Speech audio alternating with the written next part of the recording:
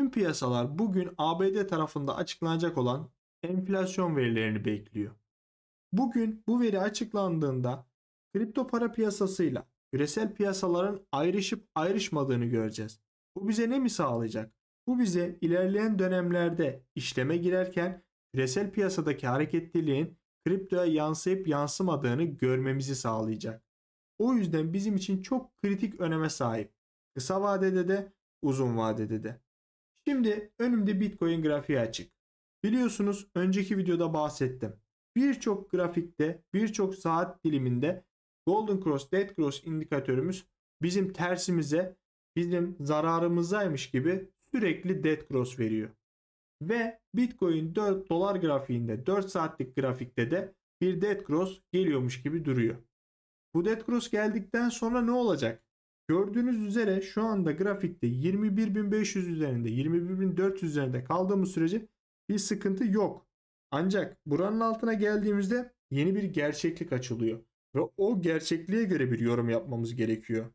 Ancak şu an elimizde böyle bir veri olmadığı için önümüzdeki senaryoyu konuşmak zorundayız. Bugün saat 16.30'da açıklanacak olan tüketici fiyat endeksi yani enflasyon verileri beklentinin altında gelecek şeklinde yorumlar daha fazla. Çünkü genele baktığımızda önceki videoda söylediğim durumu da göz önünde bulundurursanız sevinirim. Çünkü orada şunu söylemiştim.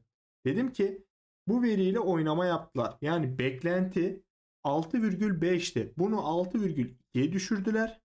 Ve şu anda gelecek olan rakam da buradan aşağı yukarı alt seviyelerde olacak diye tahmin ediyorum. Çünkü bu enflasyonu kontrol edilmiş, resesyon riski düşürülmüş ve Biden tarafında da bu açıklamalar sürerken tutup da bu veriyi düşürüp daha yüksek bir veri açıklamanın hiçbir mantıklı tarafı olmayacaktır. En az bu veri kadar önemli bir verimiz daha var. Bu da perşembe günü açıklanacak üretici fiyat endeksi verisi. Üretici fiyat endeksi verisi bizim için aslında ne ifade ediyor biliyor musunuz? Yüksek ücret endeksi verileri ücretlerin hızla artmasını gösterir. Bu ülkedeki ücretli çalışanlar için iyi haberdir. Çünkü daha yüksek ücret oranları alacaklar. Yani siz şunu düşünün. Maaşınıza zam geliyor. Ancak bu veri arttığında üretici fiyat endeksi yüksek gelmeye başladığında sizin aldığınız elma da, aldığınız kömür de, aldığınız bilgisayar da artacak. Bunu karşılamak için bunları satan insanlar fiyatları arttıracak. E sizin de maaşınız artacak. Bu da açıkçası kelimenin tam anlamıyla enflasyon demek. O yüzden bu veri de tüketici fiyat endeksi kadar önemli. Zaten açıklanırken dikkat ettiyseniz önce tüketici fiyat endeksi açıklanır, sonra üretici fiyat endeksi açıklanır. Yani bu verinin de yüksek gelmemesi gerekiyor, düşük gelmesi gerekiyor. Bunları da konuşacağız. Ancak bugün aslında dikkat etmemiz gereken ilk veri enflasyon verisi. Enflasyon verisi bize piyasadan ayrışıp ayrışmayacağımızı gösterecek ve bizim indikatörlerimizin ne kadar doğrulukla çalışacağını tespit edecek. Çünkü bu kadar fazla olumsuz kesişimin olduğu grafiklerde piyasadan ayrışmamız aslında çok saçma olacaktır. Baktığımız zaman Bitcoin'de şu anda 21.500 üzerinde tutunuyoruz ve bu bantlar bizim için sağlam bantlar. Bunun altına sarktığımız takdirde farklı bir gerçeklik üzerine yorum yapmaya başlayacağız. Dow Jones'a baktığımızda bakın Dow Jones'ta belirttiğimiz yükselen takozun üstünde kapatma yaptık. Bu ne demek oluyor? Bu ben yükseliyorum. Ben şu anda iyi durumdayım demek oluyor. Ve gördüğünüz gibi Dow Jones da %1,11'lik bir kapanış gerçekleştirdi. Bu çok güzel bir veri. S&P'ye baktığımızda S&P 1,15'lik yine olumlu bir kapanış gerçekleştirdi. Yani küresel anlamdaki piyasalar güzel kapanışlar gerçekleştiriyor. Ancak Bitcoin burada ayrışıyor. Bitcoin'de de küçük bir toparlama var. 300 dolarlık bir oynayış söz konusu. Ancak bu şu anda satış baskısı nedeniyle düşüş eğiliminde. Neden düşüş eğiliminde? Dün de bahsettim. Ne dedim? İnsanlar şu anda bu verilere önem gösteriyor. Çünkü bu veriler geçmişte çalışmış veriler. Ve bir adet de bilinmezimiz var. Nedir bu bilinmez? Bilinmez şu arkadaşlar. Bir haftalık banta aldığımızda bu indikatör ilk defa tarihinde dead cross verdi. Ve bunu küreselde bütün analistler konuşuyor. Traderlar konuşuyor, yatırımcılar konuşuyor. E bu konuşulunca tabii ki bunun korkuya neden olduğu apaçık. Ve korkuyla birlikte gelen satış da apaçık.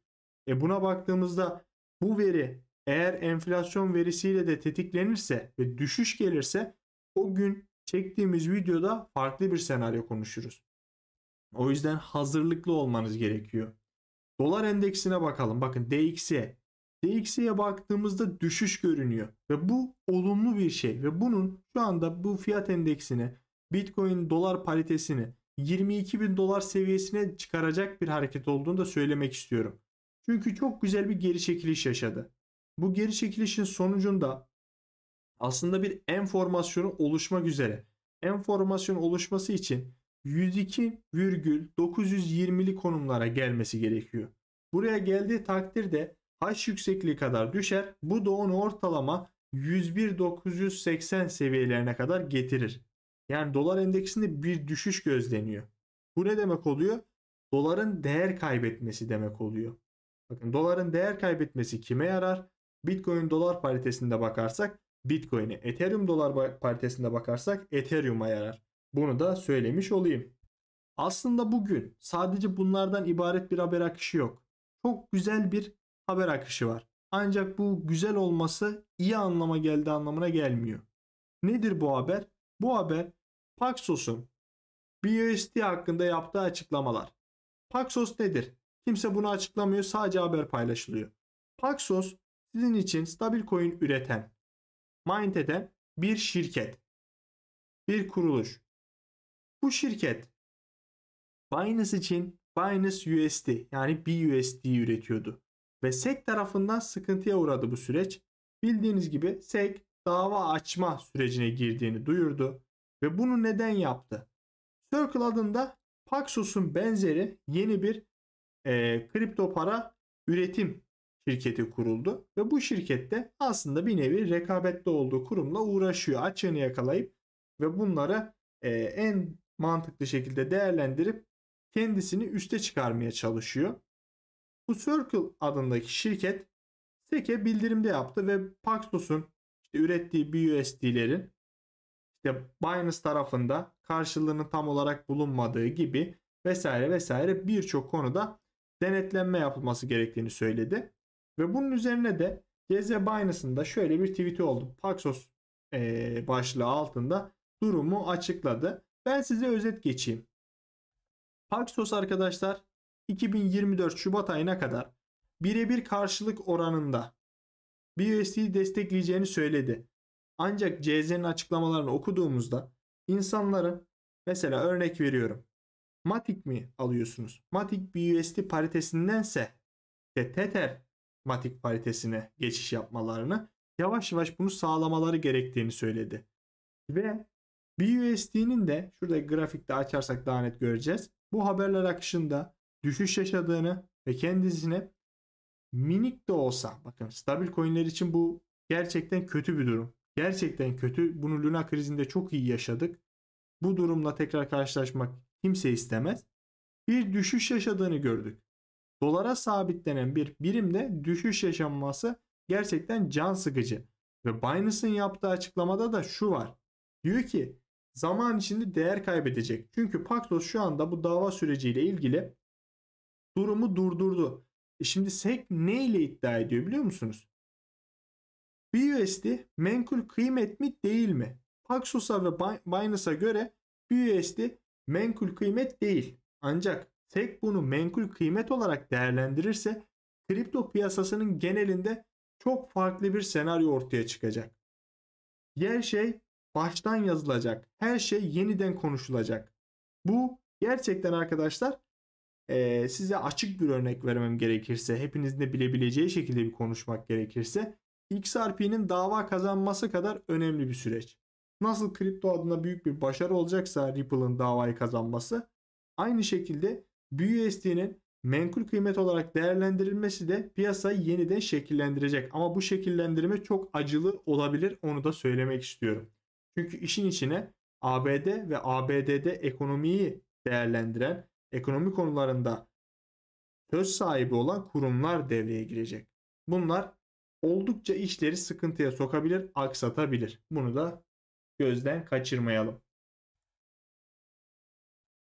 Yani temele baktığımızda bizim için uzun vadeli bir uyarı yapıldı. Bu uyarıyı dikkate almak sizin elinizde.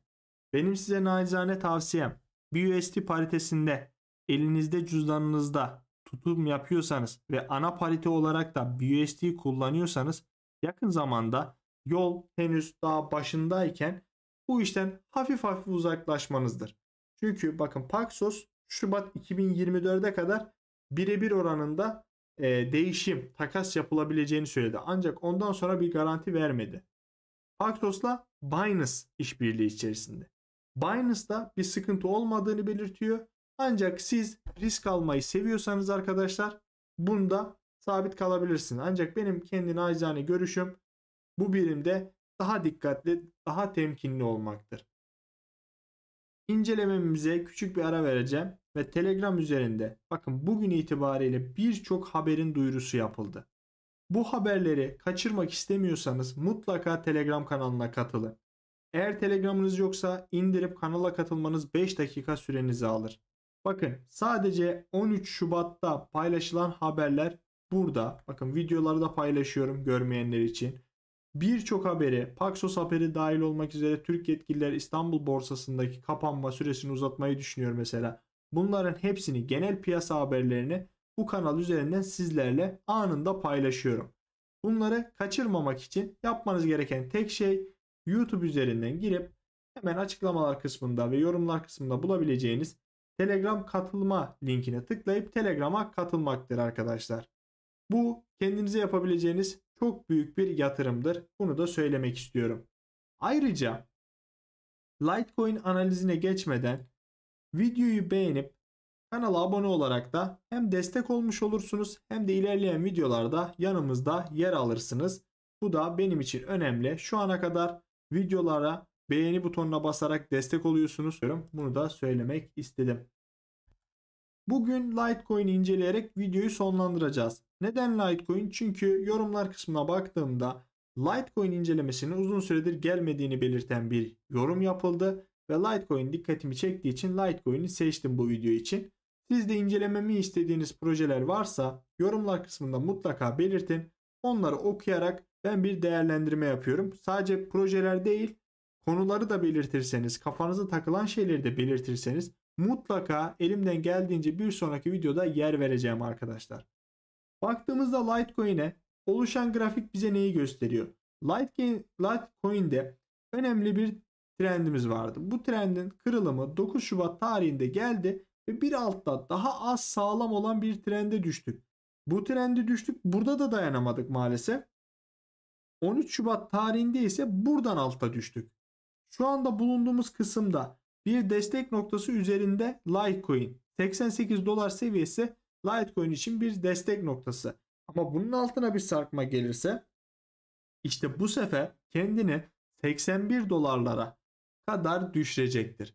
81 dolarlar seviyesi aslında Litecoin için düşük bir seviye ve kademeli ekleme yapılabilecek seviye. Burada ekleme yapılabilecek ilk konumu söylemek istiyorum.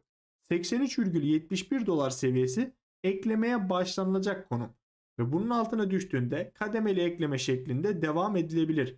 Sonuçta genel analize baktığımızda küreselden ayrışmayacağını ve bu verilerin aslında FTX, Luna gibi çöküşten dolayı kripto para piyasasında bu şekilde yansıma gösterdiğini düşünüyoruz ve buna inanıyoruz. Farklı bir durum olduğunda mutlaka bunu değerlendireceğiz.